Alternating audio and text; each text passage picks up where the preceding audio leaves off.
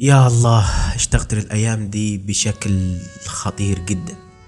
أنا من عشاق مسلسل Game of Thrones وأي شيء يخص كتب مسلسلات آه، مقالات فيديوهات أي شيء يخص Game of Thrones أو تحديدا جورج آر آر مارتن وفي الفيديو ده هنناقش ونحلل الإعلان الرهيب لمسلسل House of Targaryen وهراجع الإعلان بطريقة مختلفة. هتكلم عن النقاط المهمة اللي هي في نفس الوقت نقدر نقول أهم الأشياء اللي لازم تعرفها قبل ما تشوف المسلسل.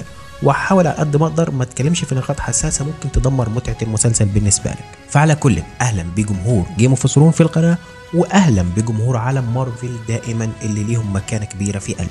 وأنا أطلب منكم إنكم توصلوا الفيديو ده لرقم كبير عشان هتحمس واعمل أشياء تاني. كالعادة صدقوني لما تجربوا دعمي في فيديو هتشوفوا أشياء أكبر بكتير. وافتكر دايما إن ده شيء بسيط جدا منك ولكنه شيء عظيم جدا بالنسبة لي. فقط جرب صديقي ال Game of ويلا نبدأ في تحليل الإعلان.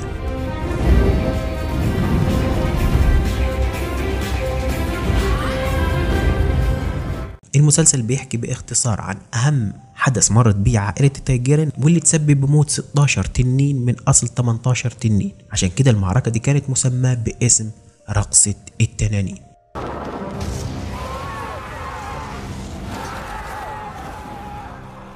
والأحداث كلها بتبدأ بموت الملك فاسيريس الأول.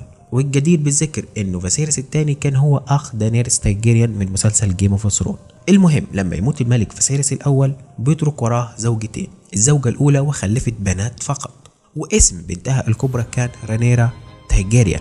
أما الزوجة الثانية فخلفت ليه ولد ولكن الولد كان أصغر في السن. من بعد ما كان الملك فاسيريس الأول قرر ان هو يخلي رانيرا هي الحاكمة من بعده.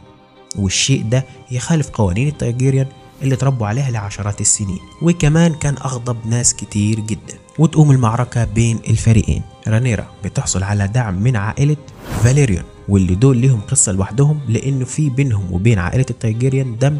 واللي يثبت ليكم حكاية الدم اللي بينهم دي الشعر الأبيض والعيون الملونة اللي بتشبه عيون عائلة التايجيريان. واللي أحدهم في الوقت ده بيكون متزوج من رانيرا تايجيريان ولاحقا بيتزوج منها عمها اللي هو ديمون تايجيريان. فدول لهم قصة إن شاء الله في المستقبل ممكن أحكيها لكم. وكمان رانيرا بتحصل على دعم عائلة ستارك وعائلة أرن. وكانوا بيتواجدوا في الجزء الشمالي الغربي من ويستروس وأهم داعم للملكة رانيرا تايجيريان هو الرهيب والعظيم جدا ديمون تايجيريان الشخصية المشهورة بالعنف والقوة والذكاء واللي لاحقا هيكون زوج لرانيرا شخصية مهمة وتقريبا أعتقد إن هي هتكون الشخصية الرئيسية للمسلسل. وأتباع رانيرا بيرتدوا اللون الأسود وأتباع الملك إيجون الثاني اللي هو ابن اليسنت هاي تاور بيرتدوا اللون الأخضر. وموضوع الألوان ده مهم لأن كان كل بيت بيرتدي الألوان اللي هي بتعبر عن تأييده للفريق الثاني. والعوائل المؤيدة لإيجون الثاني كانت هي عائلة هاي تاور وعائلة اللانستر. وأتباع إيجون كانوا بيتواجدوا في الجزء الجنوبي الغربي من ويستروس وإيجون كان بيسيطر على أكبر ثلاث مدن من أصل خمس مدن في العالم وهي كينجز لاندنج وأولد تاون ولانسبورت. وأنا مش عايز أشرح أكتر من كده عشان ما أحرقش عليكم متعة الأحداث. ويلا نروح بعد كده للإعلان frame by frame بنشوف إيليا هاي تاور ومعها الخنجر يعني مش هنقول هو ولكنه شبيه باللي كان موجود في Game of Thrones والخنجر ده كان مسؤول عن بلاوي كتير. كان مسؤول عن المعركة نفسها اللي بتقوم في كل ويستروس وكمان كان مسؤول عن إنهاء ملك الليل. مش عارف هل هو نفس الخنجر أم خنجر شبيه بيه. ولو هنعمل zoom كده في الخلفية وراها هنشوف ده جرين ماكتافيش اللي هو بيقوم بدور زعيم Kingsguard اللي هو زي في صراع العروش يعني آه، بارستن سلمي ولاحقا جيمي لانستر. واللي كان في الوقت ده اسمهم مختلف عن Kingsguard أو الرجال اصحاب الأبيض كان في الوقت ده اسمهم الرجال أصحاب الفضي وبعد كده بنشوف قتال بالاحصنه اللي كنا بنشوفه برضه في الجزء الأول أو في مسلسل يعني Game of Thrones المعركة اللي كانت بتقوم بين شخصين بأحصنة ومش معروف مين الشخصين دول. ولكن واضح إن الشخصية دي هي تابعه لعائله الستارك والعائله التانية تابعه لعائله كولد.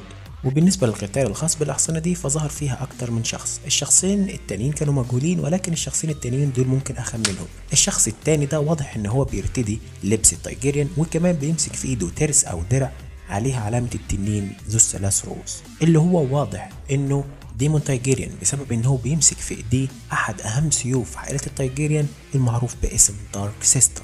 ومن الحاجات التانية اللي وضحها الإعلان ده واللي لازم أقول لك عليها برضه إن إحنا بنشوف نسختين من رينيرا تايجيريان. نسخة وهي أصغر في السن ونسخة وهي أكبر في السن فمش عارف هل ده معناه إن هي بتحكي الأحداث أم ده هنشوفه في نهاية الأحداث من بعد انتهاء المعركة؟ أنا مش عارف ومستغرب للشيء ده بصراحة. وبرضه من ضمن الأشياء الجميلة اللي شفناها في الإعلان هو ظهور الملك فازيريس تايجيريان وهو بيقعد بكل فخامة على العرش الحديدي وبيمسك في إيده Blackfyre السيف الفاليري الأسطوري.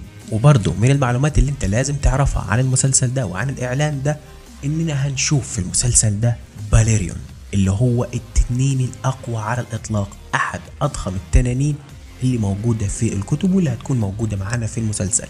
باليريون الرعب الأسود التنين اللي احتل وفتح كل ممالك ويستروس. نيجي للبنت دي صاحبة الشعر الأسود ودي اللي ما يعرفهاش فهي شخصية مهمة في الكتب اسمها ماسيريا. وبالنسبة لماسيريا دي اللي ما يعرفهاش فهي واحدة من قارة إيسوس واللي كانت أحد عاشقات ديمون تايجيريان واللي أصبحت لاحقا سيدة الهماسين أو الهامسين اللي هي وظيفتها بالضبط زي وظيفة فارس في صراع العروش اللي هي مسؤولة عن جمع الأخبار ومعرفة الناس بتأيد الحكم بترفض الحكم اللي هي العصفورة يعني العصفورة. ومن الأشياء اللي نتوقع ظهورها في المسلسل ده أو مش نتوقع ده تم التلميح ليها اللي هي مثلا ظهور عائلة ستارك زي ما أنا قلت من شوية إن هم أصلا بيدعموا أحد العائلات اللي بينهم خلاف وكمان الشعار اللي أنا قلت عليه من شوية وكمان هنشوف عائلة لانستر. العائلة برضو اللي حصلت على شعبية كبيرة بسبب ظهورها في مسلسل Game of Thrones فدي من ضمن الأشياء اللي أنا متحمس ليها. ولكن ما تمش التلميح عنهم بأي شكل من الأشكال في الإعلان ده. ومن الأشياء المهمة الملفتة في الإعلان ده إننا بنشوف إن شكل العرش الحديدي مختلف عن اللي كان موجود في Game of Thrones ففي يعني نقدر نقول سنة شبه مش شبيه باللي موجود في الكتب ولكن شبيه بدرجة بسيطة جدا. لأنه تم التعديل عليه في أيام حكم ما بعد فترة التارجيريان من بعد آخر ملك إيريس المجنون. لأنه في المشهد اللي قدامكم ده أنتوا شايفين إنه في أكتر من سيف مغروس في الأرض والسيوف دي بالنسبة لأشخاص ال geek محبين الكتب هي سيوف اللوردات اللي تم هزيمتهم من قبل الملك إيجون الفاتح. أنا عارف إن أنا قلت معلومات ممكن تكون مسلية وممتعة للبعض ولكن خليني أقول لكم معلومتين هم الأقوى قبل الجزء الأخير في الفيديو. ألا وهو إنه مشارك في العمل بشكل رسمي الرائع والمبدع جورج آر آر مارتن. أما بالنسبة لمخرج المسلسل فهو راين جي كوندال وأنا مستني منه بصراحة يعني أشياء مبدعة لأنه مخرج متميز. أما بالنسبة للخبر الثاني إنه الموسيقار الرائع والمبدع رامين جوادي هيكون موجود معنا و already أصلا كان موجود بعض ال tone بتاعته في الإعلان. الشيء اللي كان مميز المسلسل ده هو بصراحة الموسيقى الخرافية بتاعته. فأحب أطمنكم إن رامين جوادي الموسيقار الإيراني هيكون موجود معنا. وفي نهاية الفيديو أعطيكم نبذة عن الممثلين وراء الشخصيات اللي هتكون موجودة معانا في المسلسل. هيكون معانا الممثل الرائع مات سميث اللي هيقوم بدور ديمون تارجيريان. والممثلة الرائعة ميلي ألكوك هتقوم بدور princess ريانا تارجيريان. الممثلة الرائعة إيميلي كاري هتقوم بدور أليسنت هاي تاور النسخة الأصغر وأوليفيا كوك هتقوم بدور أليسنت هاي تاور ولكن النسخة الأكبر والممثل الرائع رايس إيفنز اللي هيقوم بدور أوتو هاي تاور اللي هو مساعد أو ساعد الملك واللي كان موجود بدور ليزرد في أفلام سبايدر مان أميزنج وأحد الشخصيات اللي هتكون موجودة في مسلسل house of تارجيريان ميري لانستر الممثل الرائع جيفرسون هال اللي هيقوم بدور لورد جيسون لانستر.